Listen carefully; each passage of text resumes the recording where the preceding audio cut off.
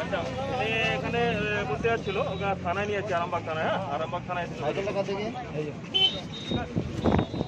আরামবাগ থানায় আসুন আর এসে নিয়ে যাবেন এখান থেকে আরামবাগ থানায় এই কোনটা কার আছে?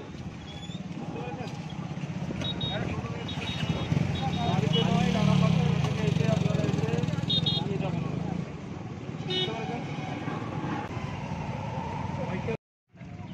রাস্তা দিয়ে যাচ্ছিলাম দেখলাম ভদ্রমহিলা ব্রিজের উপর দাঁড়িয়ে কান্নাকাটি করছে এবং অ্যাটেম্প করছেন সুসাইড করার জন্য।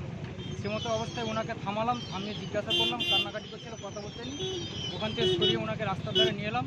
জানতে পারলাম ভদ্রমহিলার বাড়ি হচ্ছে ঘাটাল ঘাটাল থানা অন্তর্গত জয়কৃষ্ণপুরে।